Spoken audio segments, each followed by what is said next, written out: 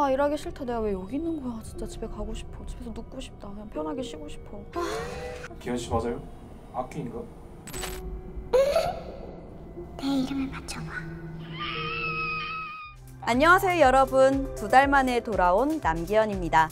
여름에 열기가 실감나는 7월이 되며 무더웠던 한 달을 보냈는데요. 시청자 여러분 장마 피해는 없으셨나요? 장마의 꿉꿉함도 날려버리는 따뜻한 햇살 저 남기현과 함께 7월의 코아 뉴스 시작해 보겠습니다.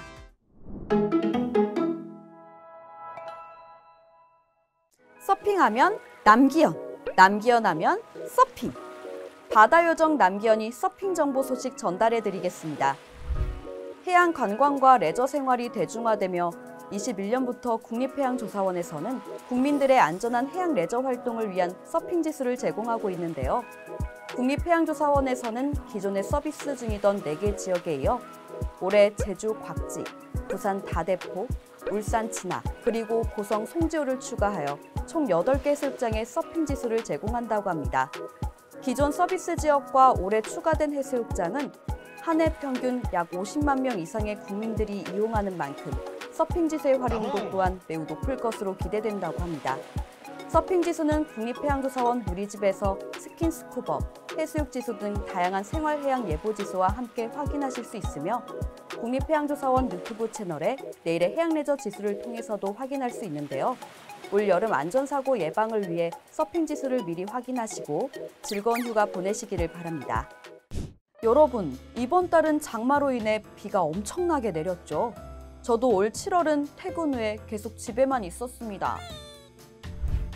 올 7월은 전국적으로 집중호우로 인한 침수 피해가 굉장히 잦았는데요.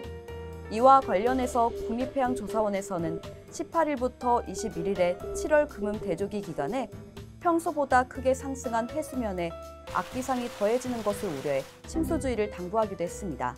그뿐만 아니라 대국민을 대상으로 매달 누리집에 대조기 해안침수 주의 정보를 게시하여 침수가 우려되는 지역과 해수면이 언제 얼마나 높아지는지 등에 대한 정보를 제공하고 있는데요.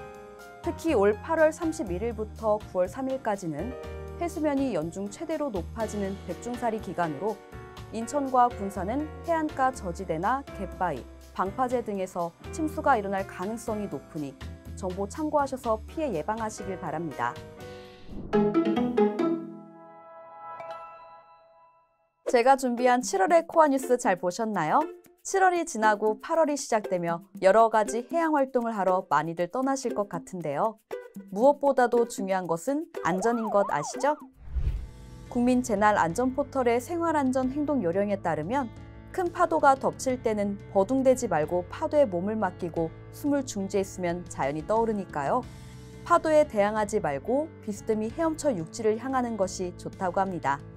수영 중 경련이 일어났을 때 몸에 힘을 빼서 편한 자세가 되도록 하고 경련 부위를 주무르는 것이 좋고요. 신속히 구급 요청을 하는 것이 중요합니다. 갯벌로 떠나시는 분들도 많으실 것 같은데요. 갯벌에서 물놀이 할 때는 날카로운 조개 등이 있어 발에 잘 맞는 장화를 착용하며 샌들을 착용할 때는 양말을 착용하는 것이 좋습니다. 갯벌에 발이 깊이 빠진 경우에는 반대 방향으로 엎드려 기어 나오며 위급한 경우에는 119의 도움을 받는 것이 좋습니다. 7월의 코아 뉴스 여기까지 전해드리고요. 다음에 또 봐요. 안녕!